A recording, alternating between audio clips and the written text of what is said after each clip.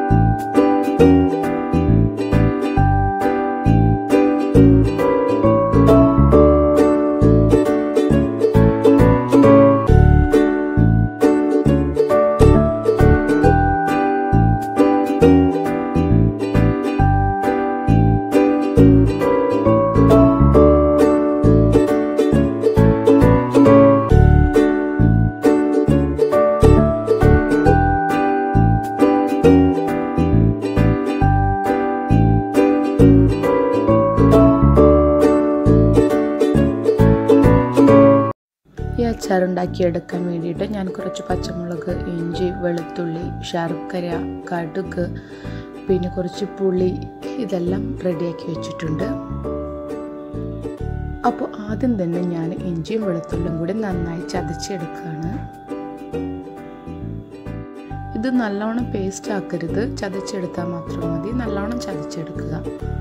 അങ്ങനെ ആകുമ്പോൾ നമുക്ക് അച്ചാർ കഴിക്കുന്ന സമയത്ത് ഇഞ്ചിയുടെയും വെളുത്തുള്ളിയുടെയും പീസസ് കഴിക്കുന്ന സമയത്ത് നല്ല ടേസ്റ്റി ആയിരിക്കും.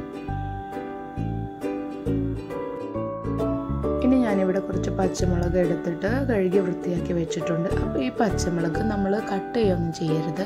പക്ഷേ എല്ലാ പച്ചമുളകും നമ്മൾ സൈഡ് ഒരു സൈഡൊന്ന് കീറി കൊടുക്കണം. അങ്ങനെ ആകുമ്പോൾ നമ്മുടെ ഈ അച്ചാറിന്റെ ഫ്ലേവേഴ്സ് എല്ലാം അതിനകത്തേക്ക് കയറിയാൽ നല്ലൊരു ടേസ്റ്റ് ആയിരിക്കും.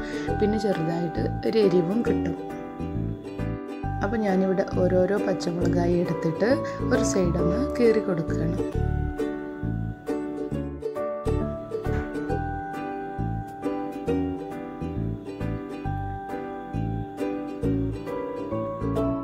ഇനി നമുക്ക് ഒരു പാത്രം ചൂടാക്കി അതിലേക്ക് ഒരു മൂന്ന് ടേബിൾ സ്പൂൺ വെളിച്ചെണ്ണ ഒഴിച്ചു കൊടുക്കാം. വെളിച്ചെണ്ണ നന്നായി ചൂടായതിനു ശേഷം അതിലേക്ക് ഞാൻ ഒരു ടീസ്പൂൺ കടുക് ഇട്ട് കൊടുക്കുകയാണ്. കടുക് നന്നായി പൊട്ടി വരുന്നത് വരെ വെയിറ്റ് ചെയ്യുക. കടുക് എല്ലാം ഇവിടെ നന്നായിട്ട് പൊട്ടി വന്നിട്ടുണ്ട്.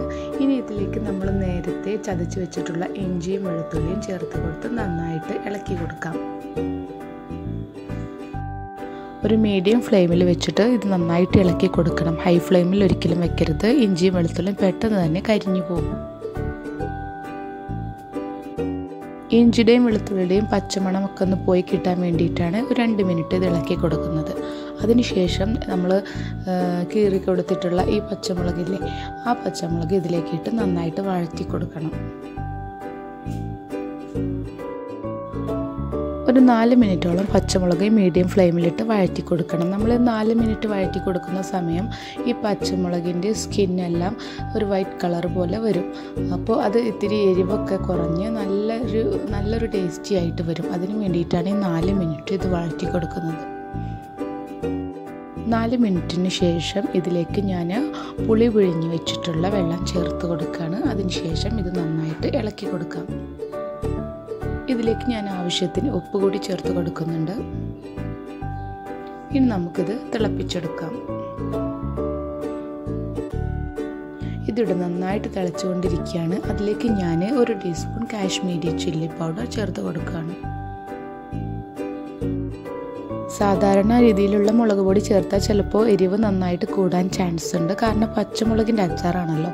അപ്പോൾ കാശ്മീരി മുളകാകുമ്പോൾ നമുക്ക് ആ റെഡ് കളർ കിട്ടുകയും ചെയ്യും. എരിവ് കുറവായിരിക്കും.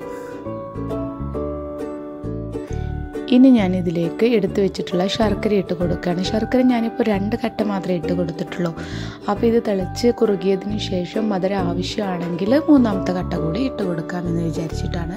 അപ്പോൾ നിങ്ങളും അതിനനുസരിച്ച് ചെയ്യുക. ചില ശർക്കര നന്നായിട്ട് മധുരം ഉണ്ടാവും ചിലത് മധുരം കുറവായിരിക്കും. അപ്പോൾ ആദ്യം നമുക്ക് രണ്ട് കട്ട ഇട്ട് കൊടുത്തിട്ട് ആവശ്യമുണ്ടെങ്കിൽ മാത്രം മൂന്നാമത്തെ കട്ട ചേർത്ത് കൊടുത്താൽ മതി.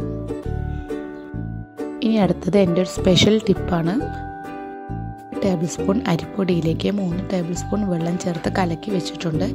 ഈ കലക്കി വെച്ചിട്ടുള്ള ഈ മിക്സിനെ ഞാൻ ഈ അച്ചാറിലേക്ക് ചേർത്ത് കൊടുക്കുകയാണ്. അപ്പോൾ ഇത് അരിപ്പൊടി ആയതുകൊണ്ട് അച്ചാറിന്റെ കളർ മാറോ എന്നുള്ള ടെൻഷനൊന്നും വേണ്ട. നല്ല റെഡ് കളർ തന്നെയായിട്ട് നമുക്ക് കിട്ടും. പിന്നെ അരിപ്പൊടിയുടെ ടേസ്റ്റ് ഒന്നും ഉണ്ടാവില്ല. ഇത് അച്ചാർ നന്നായിട്ട് കുറുകി കിട്ടാൻ വേണ്ടിയിട്ടാണ്. നല്ല ടേസ്റ്റി ആയിരിക്കും. നിങ്ങളൊന്ന് ഇങ്ങനെ ട്രൈ ചെയ്ത് നോക്കും. നല്ല ടേസ്റ്റി ആയിരിക്കും ഇത്. അരിപ്പൊടിയുടെ യാതൊരു ടേസ്റ്റും തന്നെ ഉണ്ടായിരിക്കില്ല. അച്ചാർ ഇവിടെ കുറുകി വന്നിട്ടുണ്ട്. ഇനി ഞാനിതിലേക്ക് ആവശ്യത്തിന് സുറുക്ക ഒഴിച്ചു കൊടുക്കുകയാണ്. നമ്മൾ നേരത്തെ പുളി പിഴിഞ്ഞു കൊടുത്തത് കൊണ്ട് അത്യാവശ്യം പുളി അച്ചാറിന് ഓൾറെഡി ഉണ്ട്. അത് കൂടാണ്ട് ഇരിത്തിരി സുറുക്ക കൂടി ചേർത്ത് കൊടുക്കുകയാണ്. സുറുക്ക ചേർത്ത് കൊടുത്തതിന് ശേഷം ഇത് നന്നായിട്ട് മിക്സ് ചെയ്ത് യോജിപ്പിച്ചെടുക്കണം.